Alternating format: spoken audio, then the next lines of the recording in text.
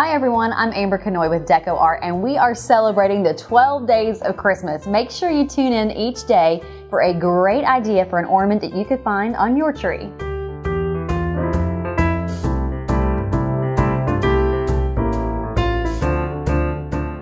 Another fun ornament for your tree could be these cute little mittens right here. And the way we start with them, you take a piece of styrofoam, a metal cookie cutter because the metal ones always work better.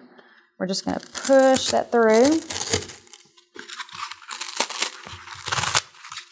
And don't worry, when you see this, you're gonna see that we have some rough edges. We're gonna take our sandpaper here and lightly smooth those edges.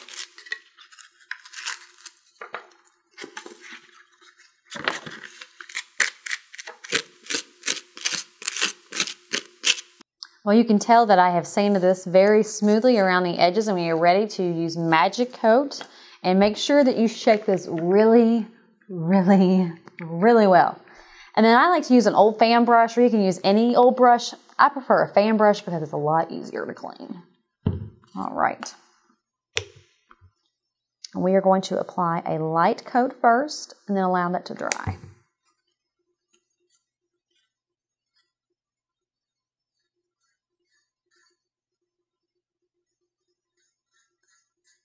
Well, my first coat of MagiKote is dried, and you can definitely still see some of the pores of the styrofoam. So I've been working on sanding this just a little bit in between coats, and then we are going to apply another layer of MagiKote and allow it to dry again. Right. And this one should be a thicker coat versus what the first was. Well, our second coat of MagiKote has dried, and if you need to do any sanding, you can at this point. Otherwise, we are ready to actually start using our Americana paint and make these mittens red and white. So Santa Red, let's start with him. And then we will use our Snow Titanium White for the top of the mitten.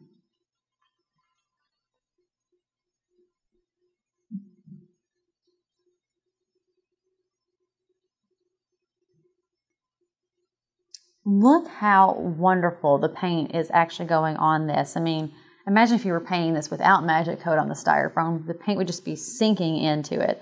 I love what this product does. Well, our paint is dried and we are ready to add a little bit of a design to our mitten here.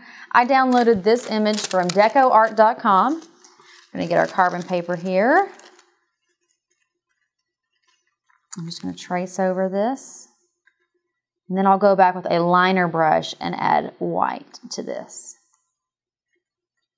All right, well, I'm just going back over a couple little sections here lightly, and then I'm gonna let this dry, and then we'll add our yarn and we'll have our mittens.